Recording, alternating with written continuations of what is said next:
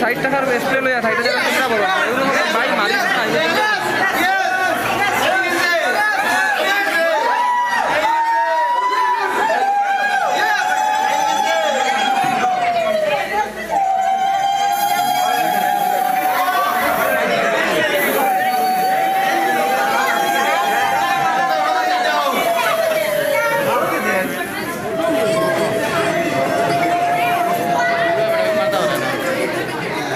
इधर हो रहा है।